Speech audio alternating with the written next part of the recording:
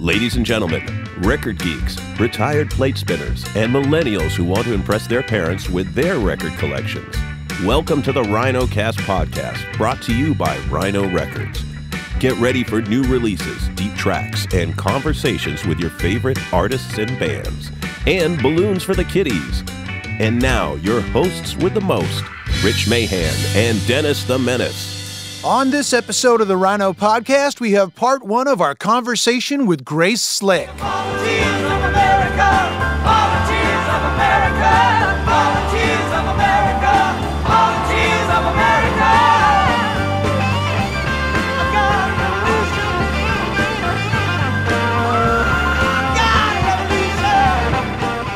Hey, Dennis. Hey, Rich. I am on rhino.com right now because I am checking out the album of the day, which happens today, the day we're recording this, to be Todd Rundgren's Utopia. Todd is God. He's awesome. I watched a documentary on him recently, a lot of interviews. I don't think people realize how many albums he produced. Anyway, I digress. Rhino.com has so much amazing information. I love learning about music. I signed up for the Rhino album of the day and it comes into my inbox every day. There's links on the side. I can stream it right from my computer while I'm working and listen. It gives me something new to listen to every day. And then there's a little bit of info to read about with it. It's great. I love it. Besides that, on rhino.com, of course, you can listen to all of our past podcast episodes. And there are other great new releases that are announced. For instance, the replacement's Dead Man's Pop. The 4 CD, 1 LP deluxe is coming this fall, and replacements fans are going to love this one. Not to mention, hint, hint, two part podcast coming up on that release. But this podcast episode, we have something very special. You, Dennis, and the executive producer of the Rhino podcast, John Hughes, got to visit Grace Slick at her home in Malibu. Did you not? 80 years old, just turned 80, and she is still a pistol and then some. And I'm told that the conversation went so well that we have enough for two podcasts on this one. Indeed, part one deep history, Jefferson Airplane, and a little bit of politics. Let's get to the conversation that you and executive producer John Hughes had with Grace Slick.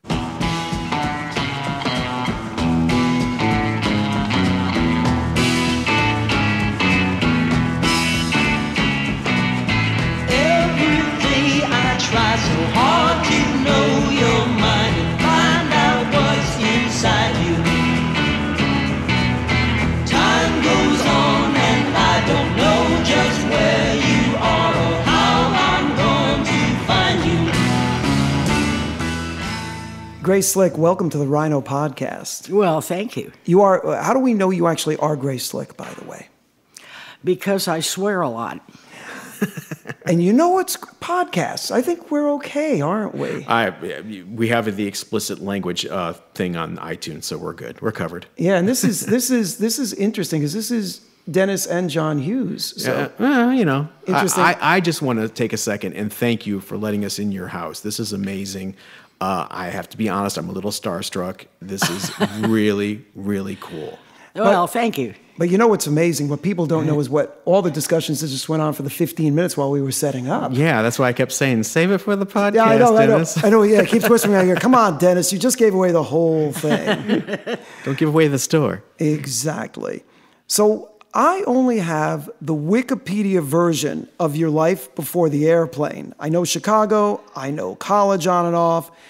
Can you tell us? I don't want the Wikipedia, I want the Gracepedia. Can you tell us a couple of stories that's going to kind of start to inform people as we launch into all of this I wish people uh, have come up, uh, publishers and uh, a couple of movie guys, and I said, look, you don't want to do it. It's too boring. I don't have any of these stories where my father beat me or, or uh, everybody left and went to Arizona or whatever happens to people.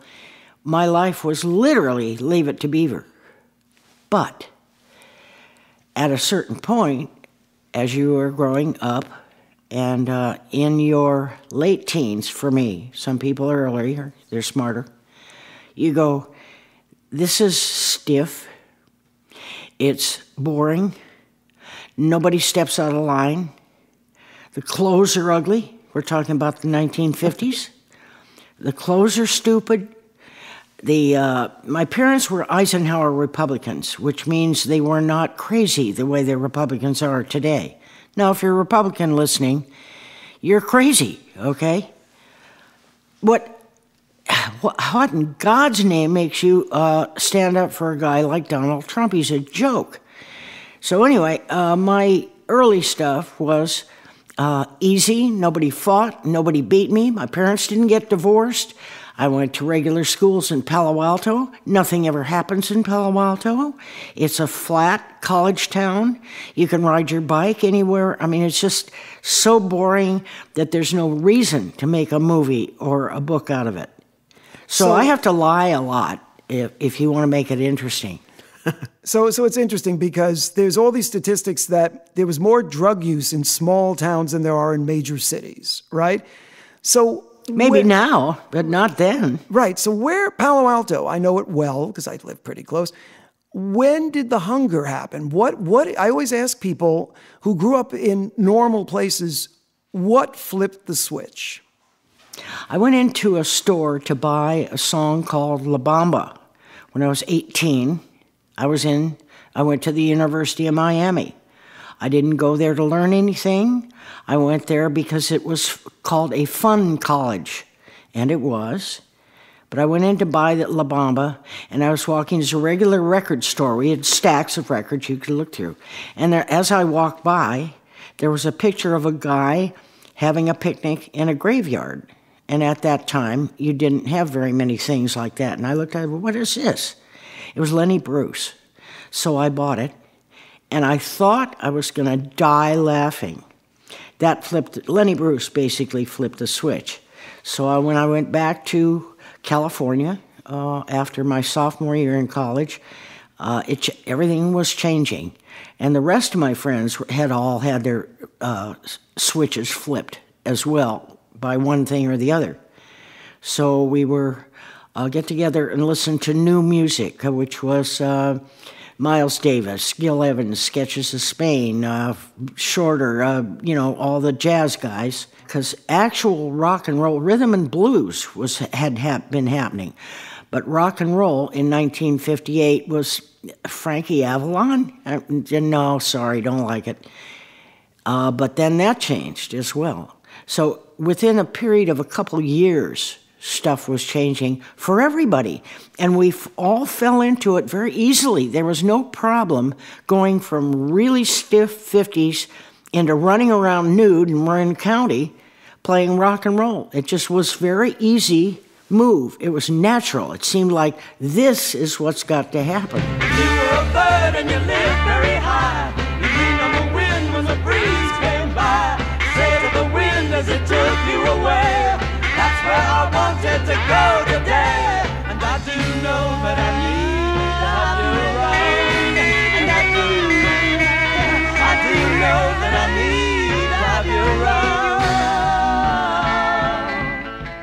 So getting to San Francisco, did you wear flowers in your hair while wearing nice clothing in I Magnin in Union Square, which is now a Macy's, by the way? Because you you've said that it wasn't really modeling; it's more like being a, a live traveling mannequin. Well, it, it was modeling. It was live modeling, not photographic modeling. I'm too short for a photo model. But what I did was I worked in the couturier department of I Magnins, which was on the third floor. Usually I can't remember my name, so I, how do I remember it was on the third floor? I don't know. and you change your clothes about every five or ten minutes and just walk around. And they'd have, you know, uh, shows occasionally, and they used to hate to have me in there because my head is very big for women's hats. And they, you, you get your gloves and your hats and some jewelry just before you go down the runway. So they'd be going, no, trying to jam the hat on my head and stuff. And I was too short. I was only five seven. Now I'm five six because you, your back goes down when you get older. But uh, too short for a photo model, so I was, uh, was a uh, floor model, which is what they called it. And some old fat old woman, she looked like I do now, came up to me and, and she fe- felt my elbows. She said, Oh, honey, you need cream on your elbows. And I still don't need cream on my elbows, okay? Who does? And I don't know, some people get gnarly elbows, I I, guess. guess. But anyway, I looked at her and I thought, you need cream from head to toe. Wait, whole lather's productive, you know. He produces the finest of sound. Putting drumsticks on either side of his nose, snorting the best licks in town.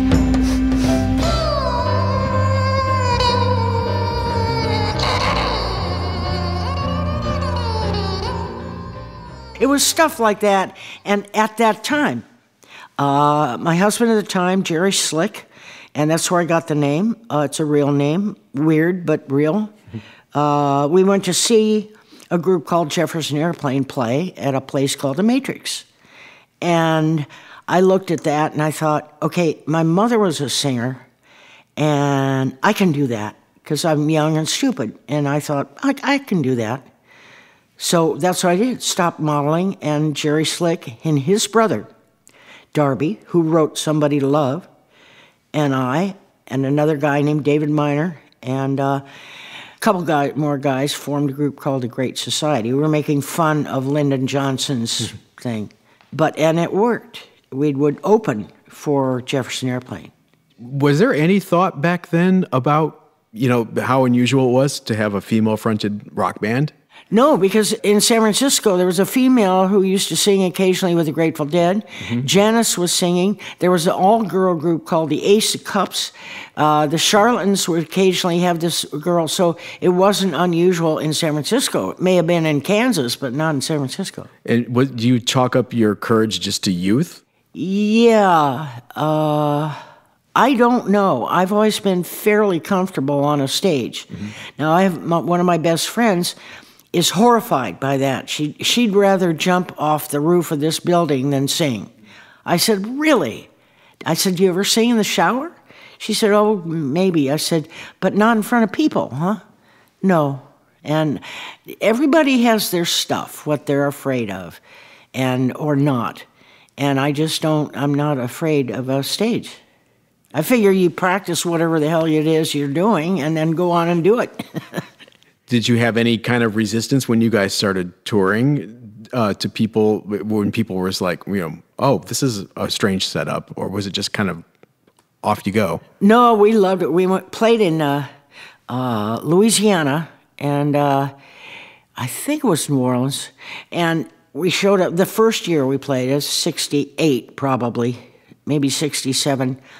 They all had on 50s outfits, little corsages with big fancy dresses and hair, and the little guys with their dumb looking suits on and everything. We came back the next year, they had totally changed. Bell bottoms, tie dye, guys with long hair. So the, the flip was really fast.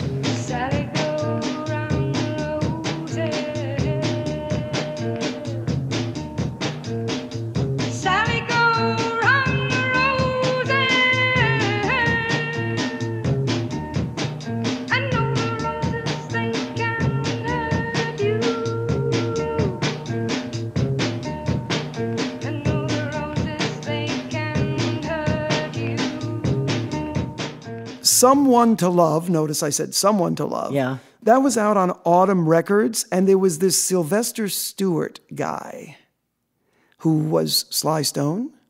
Was he involved? Yeah, uh, we recorded at uh, Golden Gate in San Francisco, which was a very it was a fairly small studio, but we couldn't really play worth a damn. So he played every instrument. And uh, it, whatever that recording is, I haven't even heard. I don't know. That would know. be amazing to find. Yeah. I bet it's out there somewhere. But Big Daddy Tom Donahue, I was just going to say KSAN. Oh my goodness, yeah, it's right he here. he was there too. He had something to do with either ownership in in Golden Gate Records, but Sly was amazing. But we were just people who thought it'd really be fun to have a rock and roll band.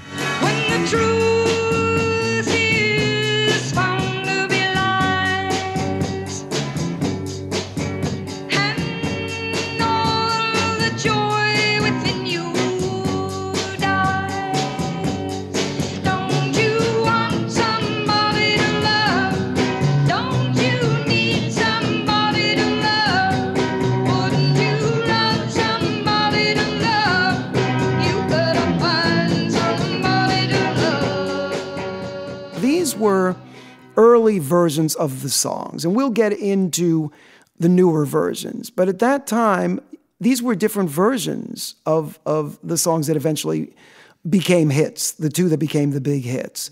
So Columbia offered you, if I'm correct, Columbia offered you a contract, but right at that moment, you replaced the singer of the band that that uh, we're obviously going to Yeah, go into. the band uh, was weird because they got pretty much the same thing.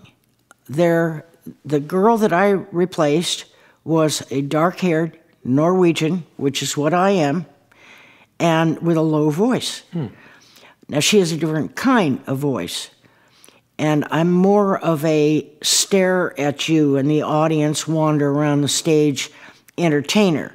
She stood very still and would pat her thigh, so she wasn't really into uh, shtick. I was more into the shtick of it, but it was natural. I didn't plan it. It's just how I felt when, when I was singing whatever song I was singing. So we're slightly different as entertainers, but same genetic makeup. And I don't think they did it on purpose. It's just uh, our band, Great Society, was breaking up because the guys were going to go study in India, which was very popular at the time. And uh, she, Signe Anderson, was going to live in Oregon, have a baby with her husband.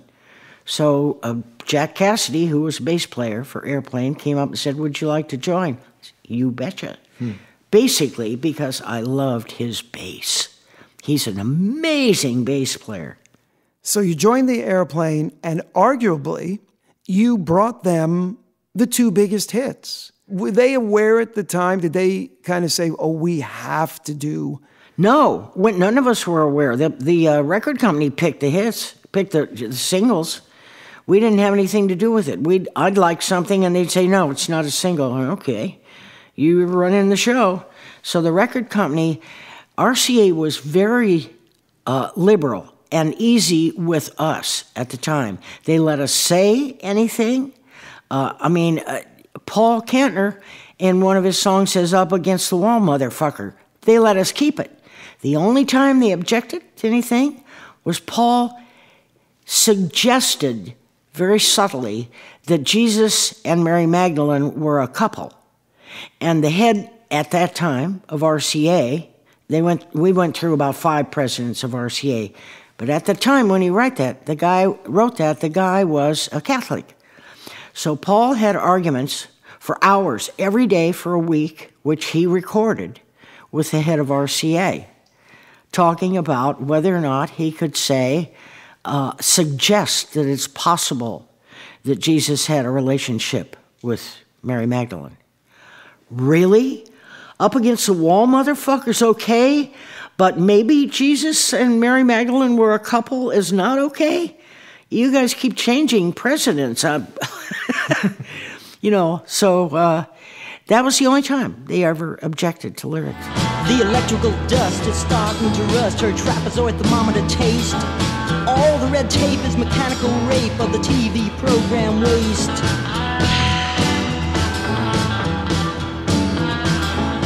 Data control and IBM science is mankind's brother. But all I see is draining me on my plastic, fantastic lover. One of the things that you've said, and you know, I listen to Surrealistic Pillow, and I, I know every inch of it because I got a copy of it from some hippies when I was very, very young. There was a lot of substances in the in the session and a lot going on. Oh, yeah. So how does and, and one of the things that you've talked about is that your producer was so out of it that you pretty much worked with the engineer. Yeah, he was uh, more inclined to be doing alcohol. And alcohol is stronger than almost any drug. Most people don't think that. They, oh, alcohol is. It's a drug, and it's really powerful. Oh yeah. So uh, he was uh, kind of a little bit too loaded. Now, marijuana is good with music. You pay attention, you can hear it, you enjoy it, you can uh, parse it. it. It's not a bad drug. LSD is good, but it's questionable because you might decide that the walls are going to fall on you any minute in the middle of a bass solo or something. You know, it's it's it's it's not uh, reliable. It can be good. when you're going up or coming down, when you're not really out there, it can be good. Alcohol, no. Cocaine uh, can be okay.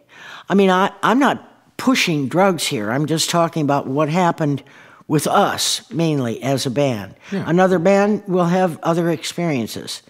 But we didn't get that loaded to record that album. Maybe marijuana, but that's mostly Paul.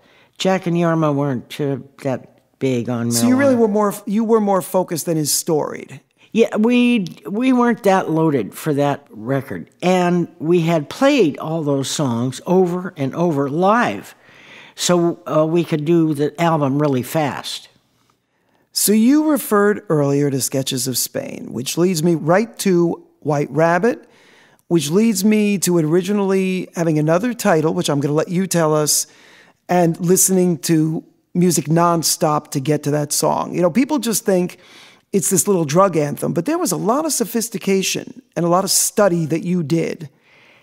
Also, Miles Davis and Gil Evans did an album called Sketches of Spain, which knocked my socks off. And I took acid and listened to that over and over again uh, for about 24 hours one time. I was 20, I was before I was in a rock and roll band. I was modeling. I was about 22, and uh, that was burned into my brain. And uh, of course, flamenco music. Uh, I made a record, a, a uh, soundtrack actually. Jerry Slick was studying to be a cin- cinematographer at San Francisco State. He made a film called Everybody Hit Their Brother Once. And I did a uh, Spanish thing for it. I don't know why. It's because that's what I could play on the guitar. And then overdubbed another thing on top of that Spanish guitar. And there's something about that that just uh, Spanish stuff that I like Edvard Grieg. Dun dun dun dun dun dun dun dun dun dun. But it's not Spanish, it's Norwegian. uh, I, I don't know why, but that's partly uh, why White Rabbit is Spanish, because I like it. and Alice in Wonderland has been used by everybody because everybody has that experience at some time where they're living one kind of life and then something flips a switch and they go over here and go, wow. That happened with the 50s into the 60s. That happened with me as an individual. And most of the people I knew had that experience at that time. So the song is poorly written because I was writing it at the parents. They said, Why are you taking these drugs? Why are, why are you doing this? They read us when we were little, Alice in Wonderland, who takes five different drugs in that book. They read us Dorothy and the Wizard of Oz. They fall down in a field of opium poppies, and suddenly they can see the Emerald City. They weren't paying attention. Why do you take these drugs? Why did you read me those books? so I was writing that song back at the at that time uh, what we considered adults. One pill makes you makes you small. And the ones that mother gives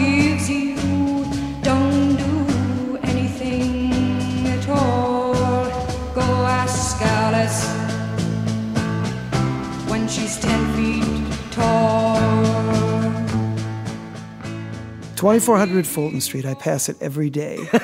but I kind of look at that house. You know, there was the Laurel Canyon scene not far from where we Yeah, were. yeah. And I think that house was pretty much the center of the scene for a long time. Would you I don't agree? know about that. I, I don't know about that. I think the Grateful Dead lived in a funky uh, Victorian, and that that was a scene too. So yeah, but you painted that house black, and that house Yeah. became legendary. We didn't do it because of the Rolling Stones song. It, it, it was uh, it was just uh, let's paint this thing black because everything in that neighborhood, everything is straight. So if it's straight, uh, like looking at us or the Grateful Dead or any of the bands at the time in a hotel lobby of a Hilton in New York City in 1968, people would look at us as if we had snot coming out of our nose, you know. We were just like awful and we loved it.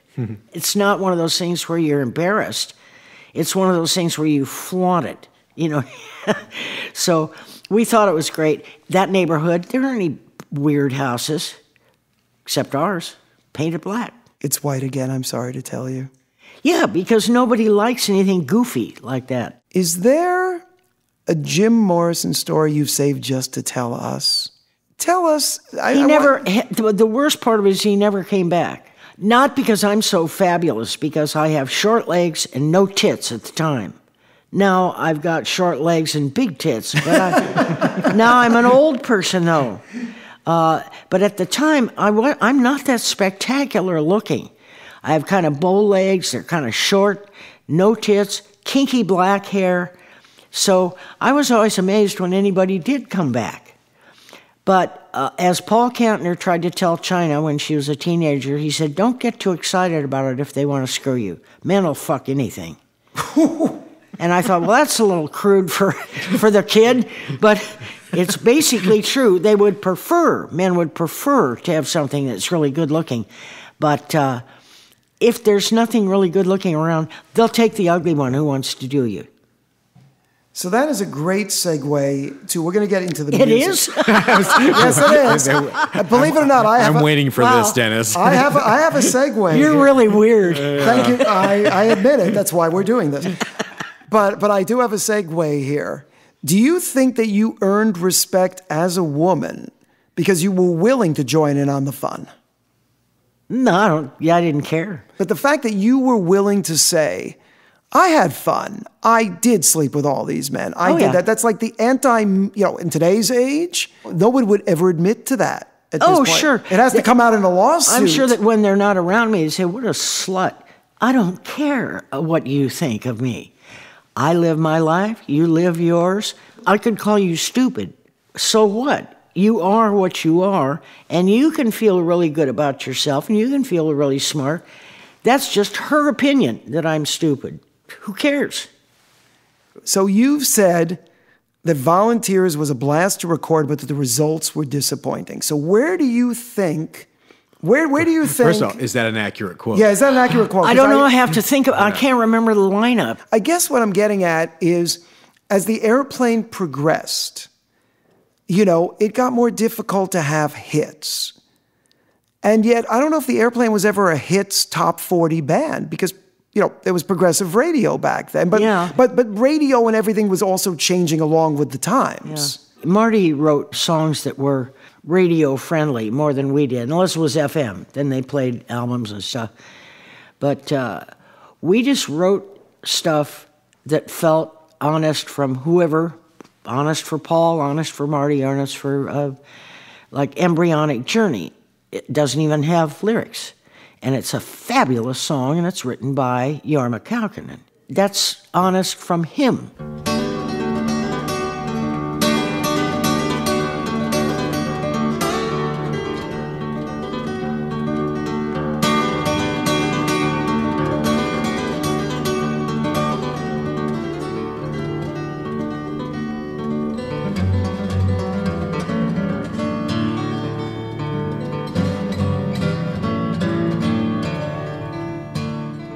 Honest from me is probably dark, sarcastic, and Spanish. Honest from Paul is let's all go to the moon together. And uh, that's kind of the David Crosby wooden ships, we're all leaving because you don't like us or we don't like you or something. That's Paul. And then Spencer didn't write, and Jack didn't write. Jorma did, I did, Paul, and Marty. So we had four writers, but they're all completely different. Unfortunately, and this happens with a lot of bands, uh, members will think, oh, my stuff, I don't like their stuff. It's too something or it's not enough of blah, blah. I liked it because I thought it was a smorgasbord. You could choose, you got something different. It's not all the same. So I liked the fact that it was all different. You get blues, and you get Paul going to the moon, Marty's love song, I'm dark as heart. So I liked that, but the guys didn't. Jack and Jorma wanted to do their blues and be more honest, and none of this uh, eight by ten copies of You Looking Marvelous. He wrote a song, Jorma, uh, third week at the Chelsea. We went to New York to do nothing but publicity. And if there's anything Jack and Jorma didn't like, it's doing publicity. They're, they're musicians. I'm not. I'm a screw off who got lucky. You know, it looked like, hey, that looks like fun. I think I'll do that. And I got, I'm not a big musician. I can't read music. I don't know anything about music. I just hear stuff in my head and go to the piano and uh, poke at it till I get it. They're musicians, and they're both very good at it. So uh, it, it depends on who you are, which member of the band. I'm sorry that they didn't see it as a whole. And I was just sort of, okay, I didn't know where Jack and Jorma were. We couldn't find them. They had gone to Europe, the Norse countries, Finland, Sweden, somewhere. We didn't know which country, to speed skate. They were both pretty good at speed skating. They were gone. So Paul and I just started making records.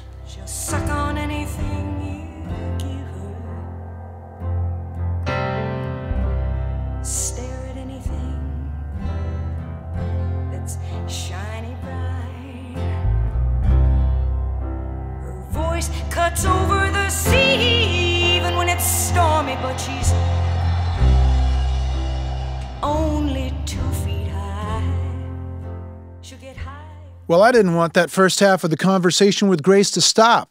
Next week, we dig deep into the starship, her solo records, her art, and yet more politics. Grace Slick, ladies and gentlemen. Thanks very much for tuning in.